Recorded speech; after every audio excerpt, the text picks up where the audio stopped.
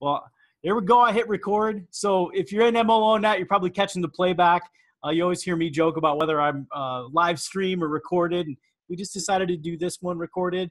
Many of you know Tim Davis. If you don't, uh, certainly glad to have him here. Tim has helped loan officers all over the country for many years. And I just, I've watched what he's done with some of my friends in the last year or two when it comes to building the brand and helping agents be better at marketing. And, and I've really loved it. And I, I reached out to him and said, Hey, could, could you just talk to some of the LOs in MLO Net and just share some of the things that I know you've brought into your company culture, but you know, you've been teaching LOs for a long time. So um, just tell everybody who you are and then let's, let's talk about uh, how we can help the LOs win. Yeah. I mean, you know, I mean, Hey, it's, it's Tim, right? Uh, just a kid from the housing projects. You want to know the truth. Uh, but uh, by, by, by, the grace of God, I run the, the coaching program at Movement Mortgage. So been around this game for a long, long time. Uh, originated for a long time. I uh, got my knees skint a ton out there uh, before I tried to figure out some things that would actually work and produce results. And so now we just share it with people, right? Just share what works and, and how it works. And, and, you know, we all come from our own perspective. So there's a lot of different ways to skin the cat. Uh, so I'll share share from my perspective what's worked for me and what we've talked to some other people that's worked for them. So there you go.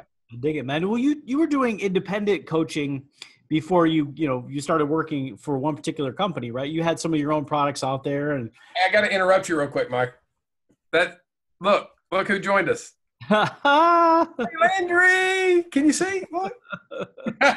she'll she'll be a part of this here in a second. I, I had to, she does she'll come up to my office every now and again and say hi. So I, I had, had to interrupt you. Go ahead, buddy. Oh, that's good. I love it, man. I was saying um that you had you had some of your own coaching products and you were helping LOs yeah. before you kind of left the independent world and, and hooked up with a good company. Um, you know, this has always been a passion of yours. Talk a little bit about uh, about how you transitioned from being a, a loan officer to somebody who was giving back to the industry and teaching and coaching and all that kind of stuff.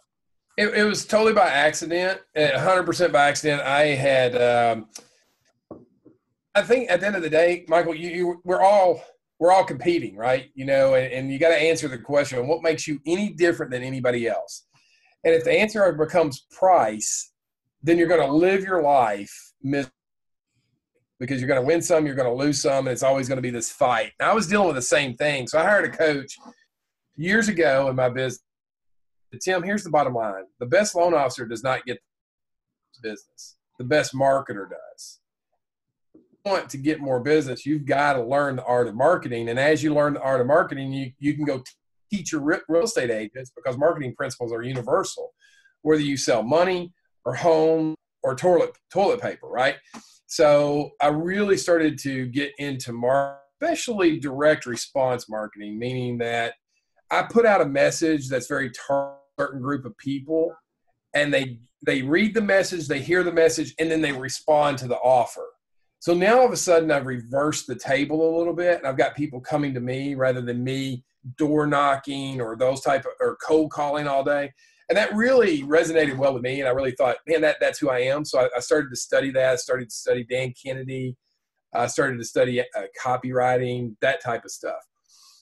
So go back a long time ago before social media, right? This is when we had fax machines and landline phones. Okay. I had um, was a member of Loan Toolbox, and they would do these inter- success interviews, and you could download the success interviews, and their their game plan was make a CD of it and give it to real estate agents. So I followed their game plan and realized, hey, I was giving these things out like cookies and then following up, and some people listened, some people didn't, and that was very frustrating to me. Like the people who did, I couldn't understand that. So through studying direct response marketing, I realized I needed ad copy that spoke to the heart of a real estate agent that really enjoyed listening to marketing and sales and leadership type of information and not only listening to it but implementing it. So Michael, I created this flyer and it said at the top, if you're a real estate agent who who loves sales, marketing and leadership information and listening to it in your car, please read further. And then I had this complete offer and at the bottom of it it was a response, you know, put in your name, your phone number, and your email and fax it to my office because you got to under, understand this is pre tech. Okay, Pre tech. And um, I hired a young lady from our church, and she would she would put out hundred or two hundred of these flyers a week. It said nothing about our mortgage company whatsoever. There wasn't a mortgage logo on it because that'll freak them out. And so we would get in ten to fifteen of those faxes a week. And so Robin was scripted to pull the fax off, call you up, say, "Hey, Michael, this is Robin from Tim Davis's office. I see you responded to the offer of the free sales training."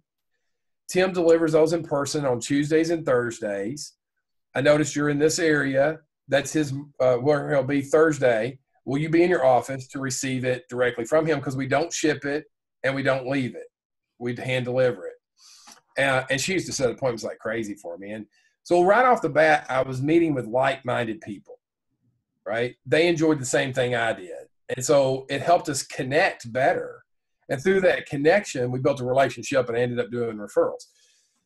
That got over to Loan Toolbox. I went out there. I presented that little program. I gave my flyer to everybody in the audience. I'm like, just do this and it'll work. And one thing I did do from a branding perspective is I took the audios. I think I think Tim and those guys called them gift of knowledge interviews, which isn't a bad name, but it wasn't branded to me.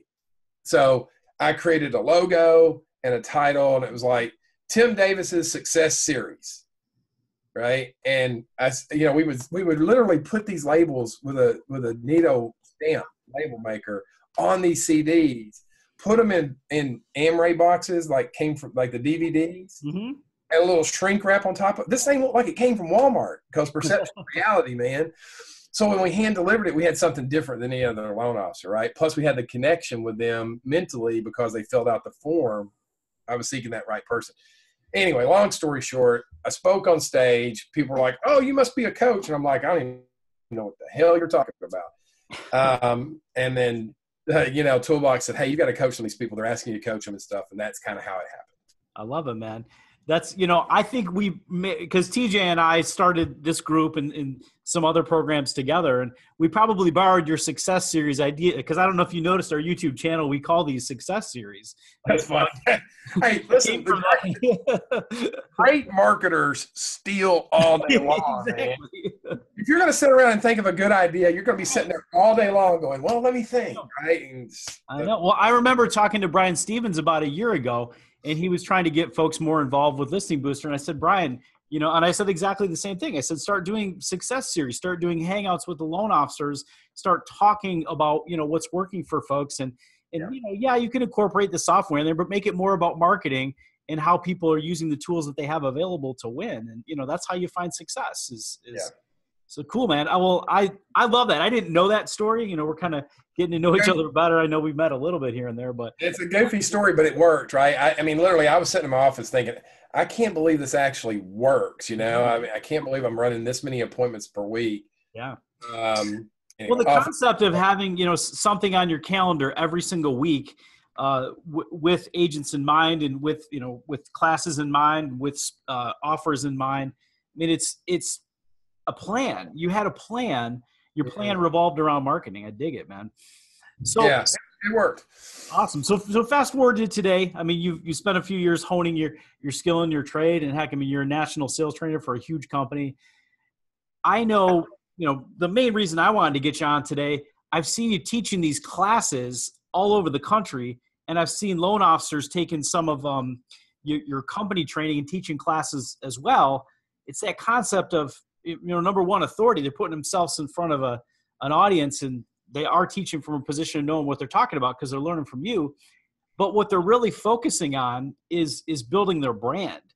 And it's it's more than just the los building their brand it's los helping the agents build their brand. And how, how does that how does that all work? And and why is it so effective for these guys you know, this goes back to those early days of landline phones and fax machines and basic principles, right? Basic principles of like, I used to sit around and think, why is it that, um, why do we give influence to certain people? That was the question I started with. Mm-hmm. What do they do that causes us to respect them, give us, give our time to them, and then let them, you know, speak into our lives? So speaking to groups was definitely one of those things I came across, right? Tony Robbins does it, you know, pastors at church do it.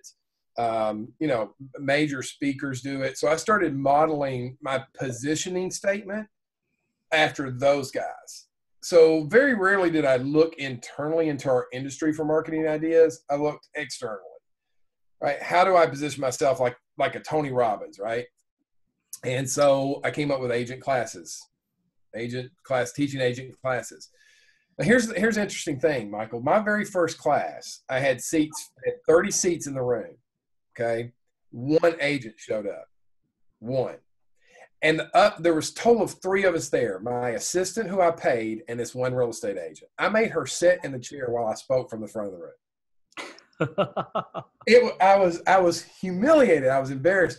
But when I left there, I said to myself, the strategy works, but I don't know enough about putting butts in the seats. Uh huh. Yep. Right. I don't I know. hear that a lot, man. I hear that a lot from a lot I don't of know how to get them there. Right. And so um, I started, you know, playing around with these concepts. Right. Number one, I'll just I'll just give you some tips on this stuff. Number one, you got to have a kick butt title for your class. Uh huh. I mean, you know, the title is everything. The name is everything. Um, if you don't have a, a kick butt title for your class, that creates some excitement and energy and enthusiasm. Like, wow, that sounds exciting. That seems like something I want to go to, right? Perhaps related to like helping them earn money or save time or something like that too. You know, not just like Yeah, learn how to read a purchase agreement. okay, who wants to go to that class? right. That's listen. I went to college, and and I literally, if the class sounded like it was a lecture, I didn't sign up. Right. Okay. So I think you got to come up with a really good title. And I would tell you to trademark your title. We trademark our titles Personal Branding Mastery, Agent Marketing Academy. That way, if I catch somebody else that's using it, I'm like, eh, I can't use that. That's trademark. You go get creative and come up with your own title. But the, the key to that, though, is, is that if you've got a great title, right, then people it builds curiosity. People go, wow, that must be something. The second part of it is you've got to you've got to promote it like it is sort of the second coming of Christ. You know, um, P.T. Barnum. I love that guy from his promotion ability. You know, he created the circus out of nothing. And if you if you saw his movie, The Greatest Showman, he's sitting there with another guy at the table, and he goes, "I'm going to put you in show business." And the guy goes, "What's that?" He goes, "I just made it up."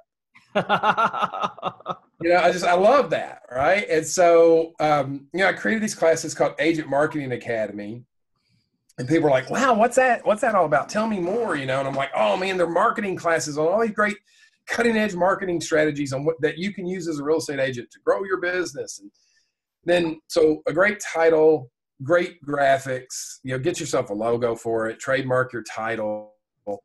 Um, then hire somebody to set your classes up for you right tony robbins doesn't call people and say hey it's tony I'm, i want to come speak at your office is that okay no he's got a team that does it for him so i hired robin at the time right and i gave her a script and and i said call these real estate offices and say hey i'm calling on behalf of tim davis from his office he's the founder and creator of agent marketing academy and he's giving free classes to real estate offices right now on whatever marketing topics we were talking about at the time. And his schedule's booking up for the entire year. I didn't want you to miss the opportunity and get you on the calendar before, you know, he gets booked up. And then they'd say, Well, when's the next opportunity? She always would tell them it was two months from then. Yep. Always. Because then they're like, golly, this is in demand. I What am I totally, missing? I totally get that, Tim. I totally get that, and and you know, it, it- you read Dan Kennedy. I've, I've gone through some of that, and I've, I've paid attention to some of the folks that you talk to as well. And you know, we've learned the hard way in some cases. Like when I do military mortgage boot camp, if I tell somebody I've got an event next month and then I got one in June, they all push it off to June Mm-hmm. when I used to do first time uh, home buyer events, that's kind of how I got started in my career. I, I actually was doing uh, two a month for a while. And I eventually realized that was kind of a dumb idea to do two a month because nobody would commit. So then I started doing one every two months and I got way more butts in the seats and converted a whole lot more buyers. So there was a little bit of a scarcity. You know, hey, you guys better you, you better come out. You know, we're not doing this for another two months. Yeah, so we would create the scarcity. Like my branding events, I am booked all the way through February of next year. Awesome, man. Can't go out, right? So it creates scarcity. It it brings people in the room. So here's the other thing. This is a, just a little bit of a marketing twist on it. Um, if you if you hire somebody to position yourself like, man, this guy must know or this gal must know what they're doing because they've got somebody booking these events for them, right? That that's I think sets the right tone, mm-hmm. right? And then number two, book up a bunch of them in advance, and that's what we did. So Robin booked up like I don't know ten or twelve of these in advance for me, and I took all those dates and I created this marketing piece. At the time, it was a flyer because we technology, right? Now we didn't have all that, so we created this flyer. Um, I went and had professional photo shoots done of me speaking. We staged the photo shoots, right? Uh, brought in a professional photographer, brought in a fake microphone, staged it like I was speaking because visuals. A fake microphone. yeah, man. Yeah, yeah. I had this fake microphone, and I was like looking like I was talking to an audience. And he took all these pictures, and we made this flyer. And then I took a page out of like Def Leppard, man, like their tour T-shirts, like have all their tour dates on it. So my flyer had all my upcoming speaking engagements on it, and it would say like Keller Williams, August 21st, private event. Century 21, August 27th, private event. You know, Coldwell Banker, you know, September 2nd, private event. It was like boom, boom, boom, boom, boom, boom, boom, like all these events, right? And the picture of me with this fake microphone. And so um, we would, and then we just like blasted the market with it, right? Here's the thing, Michael. So many people are timid about their marketing. They're like, well, I'm just, I don't know. And no, no, no, no. hell no, man. People Barnum didn't come to town go, you think you want to buy a ticket to come see the bearded lady? No, he came to town like with a microphone screaming it. Mm-hmm. So he took all these flyers and we just spread them out all over town. Like every office had them, like boom, boom, boom, boom, boom, boom, boom, boom, boom. Now remember, it didn't have a mortgage company name on it. Um, it just like Tim speaking engagements. Um, and then next thing you know, Robin went from making outbound phone calls to receiving inbound phone calls from the Women's Council of Realtors, the local NAR chapter. You know, all these places were like, "Hey, we saw Tim's flyer. Can he come speak here?" And so within just a matter of you know a couple of months, we went from one person in the room to tweaking some of these marketing strategies to fill up our calendar all year long. I love it. And that's how we did it. I love so, it. Now, let me share one more thing to you with, with you real quick, and then because uh, I think this is important. Most of the time, I wasn't an expert in what I was talking about. That's exactly what I was going to ask you. I was almost going to interrupt you to ask you that. I was going to ask you how, how well you knew your content because yeah, yeah. Better than the audience. Right, exactly. But only this much. Exactly. Just like a like a page or two ahead of them. Yeah. So I was sitting at a, a coffee meeting with a broker owner. This was several years back, and it was when video was still trying to become a thing. You know, this was like back in the Alex Mandossian days of just doing these little small videos and stuff. And and he said, you know, you know, video marketing seems to be coming coming a long way or whatever. And it seems like it's something agents should do. And I'm like, absolutely should do it. I teach a class on video marketing. I dude, I did. I had never taught one class on video, never once. I, did that last year. That exact same thing. I just I borrowed a class from Ryan Owens in, in Florida. I'm like, Ryan, you, I, I see you teach a class on this. I need your PowerPoint, bud. Yeah, I just totally said it, and and he's like, oh my gosh, I didn't know that. When could you come teach my class? I'm like, my calendar's pretty booked. I can get there in four weeks. And the reason I said that was, hell, I needed four weeks to figure out what I was going to teach him. right. Exactly. You know? And so I came back and I started Google searching video marketing for real estate agents. And I came up with five tips off of some website. I don't even remember where I got it at. And I kind of uh, took those tips and jazzed them up a little bit and made myself a little five point, you know, uh, PowerPoint. And I went over there and taught it. And, you know, I think that's the thing. People go, oh man, you know what? I'm not an expert. Well, let me mm-hmm. ask you this Is the news reporter an expert in car accidents? No, they report the car accident, right? Is a news reporter uh, an expert at whatever they're reporting on the news? No, they just report the news. So I put on my reporter hat. I'm like, I don't have to be an expert. I just have to be a reporter of the news. Because my, my main purpose, and this is where people get off track, it's, uh, I, was it Brian Tracy, keep the main thing the main thing? My main thing is two things. Number one, I want exposure to those real estate agents. They better know who I am. And number two, I'm going to ask them for referrals at that event. Mm-hmm. That's what I'm there for. Mm-hmm. I don't listen. they may never pick up a video camera. That's it's not my responsibility to force them to pick up a video camera and start using it. All I can do is just deliver the information. And that was a shift for me because in the beginning I thought, man, I teach all this stuff and nobody does anything with it. But that's that's not what I'm there for. I'm there to build my influence, gain exposure, and get referrals. Right. If they take the information and do something with it, that's awesome for them. But I didn't, you know, didn't give birth to them. It's not my responsibility to raise them. They they'll have to choose that. Uh, but I can definitely affect the other three things. Right. So you, you know, I think that's what I titled this call. Like you gave them all the tools to help them build their brand and to be better at marketing. Mm-hmm. But at the end of the day, it was actually you building your own brand. Yeah. As the authority, you know, and, and you were out there saying, guys, this is how you do it. This is how I do it. Here's the roadmap. It's here all day long. Mm-hmm. And they still look to you as the person. I mean, heck, you parlayed that into, you know, to national influence. And like you said, at one point you were only just one or two pages ahead of the class. But Dude, I did this thing one time, and this is where people get all messed up. They overthink stuff all the time. And Loan Toolbox had me come out and do one of their major events. I had never spoken on a stage like that before. I spilled water on myself. I stumbled. God only knows what I did. I don't even want to see the video. But here's what I know Tony Robbins was at that event, right? And he was one of the speakers. On the way, on the flight back, I hatched the idea that I need a flyer with Tony Robbins' picture, not me. I'm not famous local yet. A few people know me in Nashville, but not everybody. So I came back and I redesigned my flyer with a big picture of Tony Robbins on it because everybody knows Tony. And it said, at, you know, my picture was small, his was big. It was like, you know, uh, national speaker, because at that point I'd spoken on a national stage. National speaker Tim Davis available to speak for free at your office on building your business.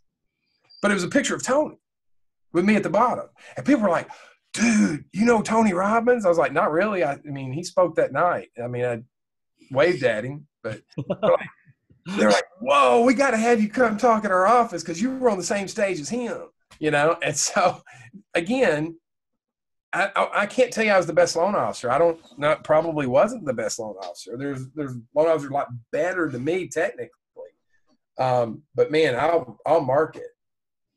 You know, it, man. Like you're you're my soul animal here because everything you're saying it just it goes right through to my heart because I I think the same way. Like I try to be the best loan officer I can, but at, the end of the day, if I'm the smartest guy and I'm standing in the corner of the room and I'm telling my other loan officer friends how smart I am, it doesn't matter. I mean, you got to have a you got to have a pipeline. You got to have influence. You got to have stuff coming in on a daily basis. And yeah. you know the folks that you're teaching and the other you know the LOs in your programs are building referral networks. They're getting referrals that close at a very high percentage rate versus you know versus the cold leads that are you know it's okay to have those. There's nothing wrong with that. I I, I run programs on that all day long. I have some myself. My team does, but at the end of the day, I know that I want as a loan officer somebody who's referred to me by a local agent who might know local friends that I know who I can drive by their house and shake their hand and I've got so many things in common with them and friends in common with them, and it, you know, it's that local authority that mm-hmm. makes your life a lot easier. You know, yeah. like you're sitting there looking at your phone, going, "Oh, cool, call this client. Oh, cool. Oh, you know a person I know. Oh, your agent said to use me. Oh, okay, you're ready to write your offer. Those are the deals that you want, man." When I branded myself as the um, the author the lending authority for the country music industry, um, one of the guys I met was a, a local CPA, and uh, he sent me $16 million in one year. Wow. 90% of the time, I had a five minute conversation with them uh, because that group of people usually uses business managers and stuff to handle all their mm-hmm. affairs. Uh, so I'd have a conversation with them to get their, you know, authorization, and then I'd turn it over to my team, and they would work with their business managers and stuff, and the files would just flow through. But it, it literally started with a flyer a flyer with the right ad copy that said Tim Davis basically helps or works with singers, songwriters, and musicians in the in the Nashville music scene to finance homes so they can build studios in their basement. That was my ad copy, but it was what they wanted and why they wanted it. And SunTrust uh, Bank was right there on Music Row, and we were just taking market share from them left and right because we had the right copy and we positioned ourselves in front of them, right? So again, it. it's just you know I wasn't the best at reading tax returns, but my team could read them. Right. Well, but you were you were good at marketing, and you said ad copy too. I mean, you you put that ad copy out there, but you weren't looking for uh, the buyers to come to you directly. You were looking for that influencer, that person that could send you, you know, two or three or four deals a month. So that's where you were focusing your ad copy. It wasn't how can I write this ad copy that's going to bring more first time home buyers. It's hey, how can I hook up with these folks that that you know the business managers, like you said. I like it. That's that's a, that's what I call first re, uh, you know first re, my first responder program, mm-hmm. and basically what it is is this is like when you when you determine a niche that you're going to work with, and I think in this noisy world having you know at least one if not multiple niches is critical. When you determine a niche that you're going to serve, go to the first responders that already serve them. Mm-hmm. So when I were when I was serving entrepreneurs and people that were self-employed and, and people in the music industry, the influencers were the business managers, the CPAs, and their financial planners. They handled all the transactions for those people. So I met Clyde, and he had a he knew everybody on Music Row. So one year, sixteen million dollars, I built one relationship with one influencer. Right. I've got a real estate agent who I taught that concept to, and and she sells in homes. Get this, she sells homes to people who own dogs. and her her first responder list includes like the dog trainers in town and the boutique dog shops, not PetSmart, but the boutique that have loyal clientele where they know each other on a personal level. Mm-hmm. Um, and they watch out for her because they know she loves dogs, right? And the animal rescues. So she goes and hangs out with people that she loves to do business with, but she's positioned as, let me find a home for you and your pet, right?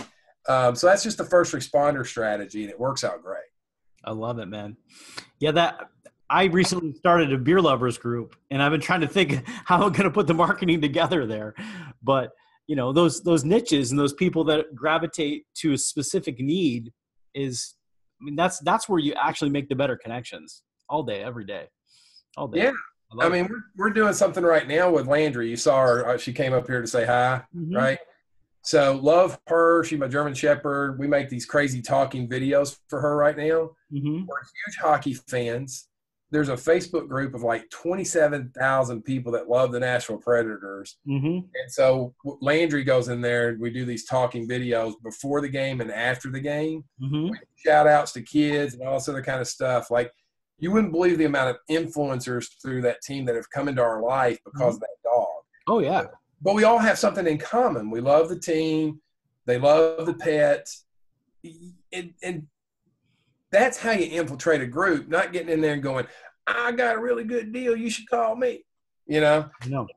So that's that that's how you do it. at least that's how I've done it. You sound like Cartwright there. call me. Yeah, uh-huh. call me, man. I got I got really low rates. DPA all day long. Oh man. So let's talk a little bit about these classes that you're teaching. And I don't know if I'm going to put you on the spot or not, but I mean you're you're teaching the classes for the loan officers. How do you get those loan officers to be part of the, you know, to be recognized as authority if it's you on stage? Because I, I know that's a challenge we sometimes have like myself and Jay will go teach a class for another loan officer, and those folks remember us before they remember the loan officer that was, you know, paying us to help them out, kind of thing. So how do you, how do you deal with that? How do you incorporate the loan officers, you know, in your company and, and on your team when you're out there teaching and get them at, you know, involved with the audience and help them build their authority and brand? Um, it pretty simple. I mean, basically, we we have a um, we have a close at the end of it that we do um, that we get about 98% of the respondents to say yes to a meeting. We get about 70% of the respondents to say that they've got a referral and, and about 60% of the respondents say that they would like a loan officer to teach the follow-up classes. Nice. Right? So it's a complete system. We go in there with the personal branding mastery class which is more like a big fun filled. Do we're got them laughing and joking and just it's all it's entertainment and education. It's like edutainment. So it's you know something they probably would buy a ticket for To, it's not a lunch and learn right?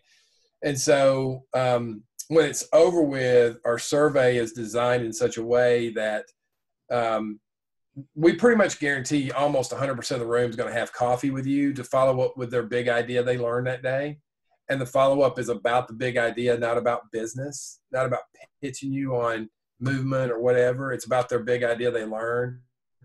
Uh, but the, the rest of it is the big part of it is our agent marketing academy classes. So when they check the box, you know, whether it's me teaching the you know branding event or one of our other speakers, um, we got a room full of agents. We're like, hey, we have monthly agent marketing academy classes that include Facebook Live and that include marketing to millennials. And you can only get that through your local office. Check that box, yes, that you would like one of our local speakers that's also also one of our loan officers because I think it's critical that you call them a speaker that raises mm-hmm. influence.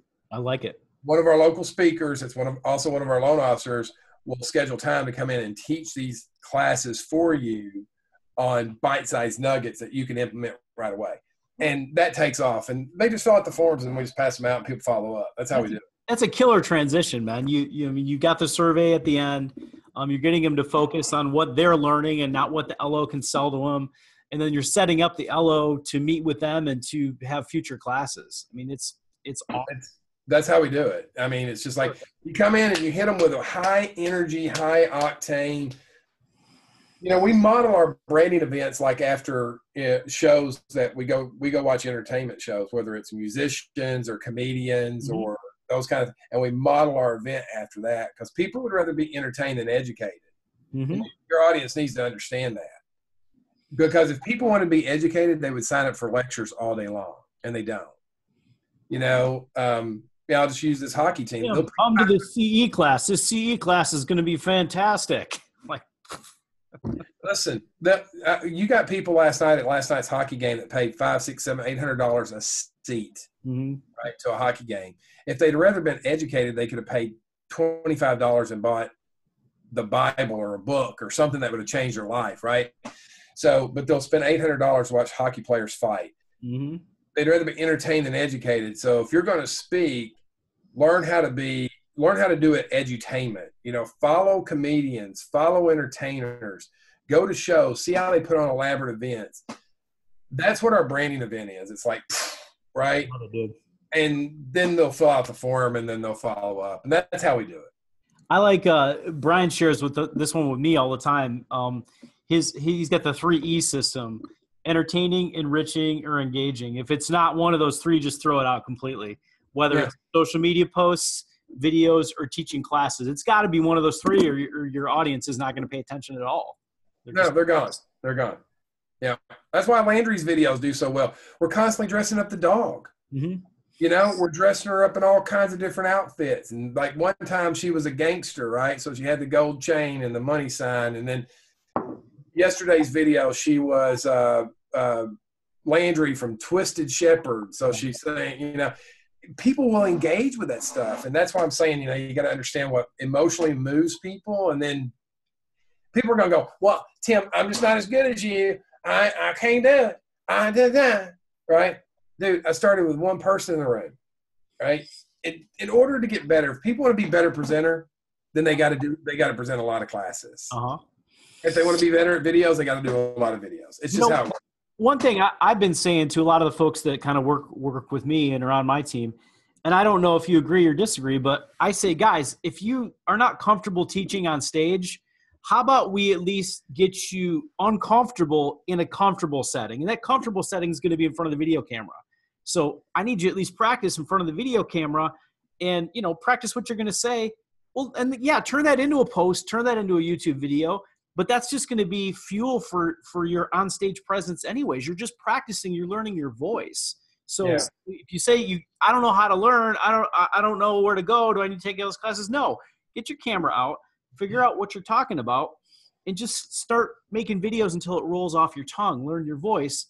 Then eventually you're going to have a nice video that's part of your marketing and when you get in front of the class you're not going to be so scared anymore because you've already practiced it in a more comfortable setting, but you've at least made yourself get uncomfortable. You made yourself get in front of a stage, even if the stage was only your, your video camera. I agree. I mean, somebody's going to do it too, right? Mm-hmm. They can. Some you can put it off till the cows come home. Fine, put it off till the cows come home. I'm telling you right now, there's somebody out there right now that's that's getting better every day at doing it. I agree. And they're going to be so far ahead of you, and and you can't blame. Listen, I coach a lot of top performers, like you know, six, seven, eight million dollar month people. I will tell you two things they never tell ask me ever. How many calls do I have to make and how much is it going to cost? I have heard those words come out of their mouth. Yeah. Right. And some of them don't like to do videos, but they're doing them now. And what we're seeing is, is that people that are going to do stuff like that are gaining market share because these top performers never blame the market conditions for their lack of success. Mm-hmm.